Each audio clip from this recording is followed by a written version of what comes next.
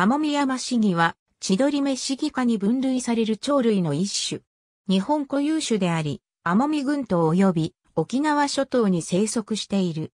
このうち奄美大島、かけろま島、受島、あたえろ島及び徳之島で繁殖が確認されており、機械島、沖永良部島、沖縄本島、ケラマ列島及び久米島では生息が確認されているものの繁殖は確認されていない。全長約36センチメートル。体型は他のシギ類と比べてずんぐりとしており、足は短い。体色は褐色で、羽には黒や灰色の斑紋が、頭頂部には黒い横斑がある。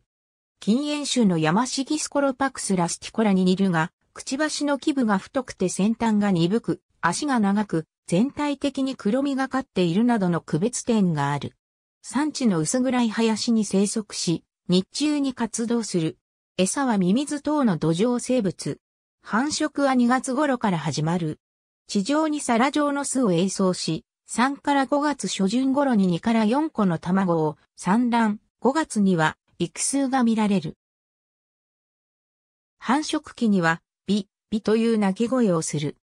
奄美群島では、繁殖期よりも、冬季の個体数が減少することや沖縄諸島では、繁殖が確認されていないことから、奄美群島に生息する個体が南方に移動していると考えられている。奄美方言では、シーギャ、沖縄方言では、ヤマシジャーと呼ばれている。外来種であるフイリマングースやの猫による捕食や、生息地である森林の開発、林道での交通事故などの影響を受けている。